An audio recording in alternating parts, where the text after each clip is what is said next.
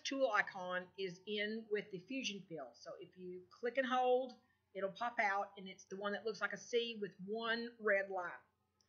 And again, you go around the nodes, left clicking and right clicking like you did before. I'm going to zoom in just a little bit. So you can go around like this. Now, if you look at the bottom of the screen on the prompt line, what's it actually saying? I know your son's blocking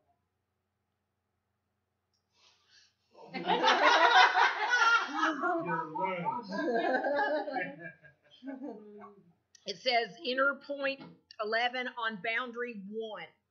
Boundary 1 is your outside boundary. That's your main shape. Okay? That's all you have to remember. Now, this tool will automatically close the first and last points. You do not have to overlap it, and it's actually better if you don't. You just simply hit enter, and it will close it. So you can see it's closed. Okay? Now, any now it says enter point 1 on the curve. It should say enter point 1 on boundary 2. So anything 2 and above is a hole.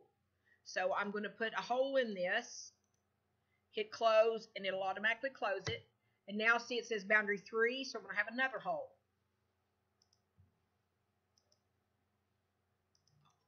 Enter.